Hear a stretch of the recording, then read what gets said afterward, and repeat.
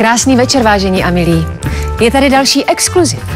Tentokrát s velkou divadelní a televizní hvězdou. Fanoušci seriálu Taková normální rodinka nebo Nemocnice na kraji města její svérázné postavy dodnes milují. A to i po neuvěřitelných 45 letech. Mám velkou radost, že mohu přivítat svého dnešního velmi vzácného hosta. Je jím představitelka nezapomenutelných rolí, legendární divadelní, televizní a filmová herečka paní Jana Štěpánková. Vzhlížela a učila se a teď mám tu čest, že si můžeme popovídat o začátcích, o průběžitelkou slavného jména a že si se narodila do herecké rodiny. Tatínek Zdeněk Štěpánek je je dodnes eh, obrovskou hereckou legendou. Maminka byla herečkou Národního divadla, taky krásně zpívala. Nevzbuzovalo to vlastně jako v dítěti takový trošičku z toho důvodu určitý odstup k tomu divadlu? Ne, to ne. Asi někdy jako, jako malá holka, nebo řekněme v období přicházejícího dospívání třeba i na herecké zkoušky, když rodiče zkoušeli nějakou roli? Nebo byla si tomu přítomná určitě doma, když si třeba přeříkávali text? Starší tím má větší je. odpovědnost. Ono to, ono to vypadá, že když já jsem třeba byla na Damu, tak eh, jsem byla hrozná trémistka, říkala jsem si, Ježíš Maria, tak doufám, že mě to časem přejde. Vůbec ne. Čím... Kde pomínáš na divadelní fakultu? Tam už si přicházela jako trošku zralejší, no ne o moc, ale o malinko.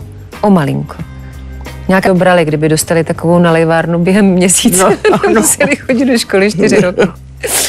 Pak tedy přišla divadelní fakulta, No. Opravdu to byl asi taky další křest ohněm to byl, v tomhle věku. Byl, byl, tam. tam ale došlo i k dalšímu životnímu, řekněme, milníku. Tam jste se potkali s tvým budoucím mužem. Nicméně po, po angažmá v divadle SK Neumana přišla nabídka do divadla na Jo, na Vinohradech, no. Tedy do angažma přišla si do Prahy, což eh, se vlastně velmi cenilo.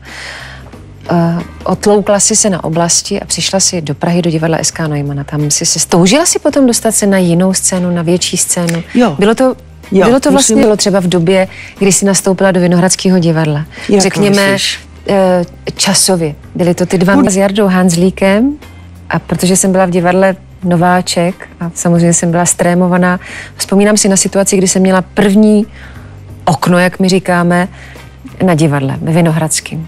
A kdyby mě to nehodila nápovědka, tak tam asi stojím dodnes. Ale vzpomínám si, že jsem byla tak vyděšená, že jsem vůbec nevěděla. Jak bys třeba odlišila spolupráci s tvým tehdejším manželem, vlastně už člověkem tobě velmi blízkým a jak, jak soukromým životem byla spoluprací s úplně s jiným novým cizím režisérem.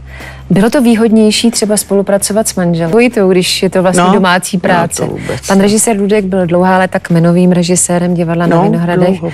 a ty jsi byla jednou z prvních dám divadla na Vinohradech. No. Aha, takže on to má takhle všechno nalajnovaný v životě, že logicky se vždycky dobere k cíli tak, jak potřebuje, nenechá se překvapovat, nemá asi moc rád takový. Mm. ještě do divadla na Vinohradech a možná vůbec do divadla a herecké práci.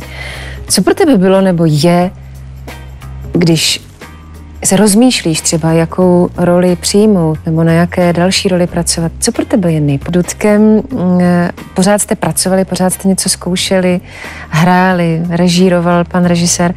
Určitě jste ale taky silná osobnost, legendární role, zajímavé příběhy. To byl exkluziv s Janou Štěpánkovou.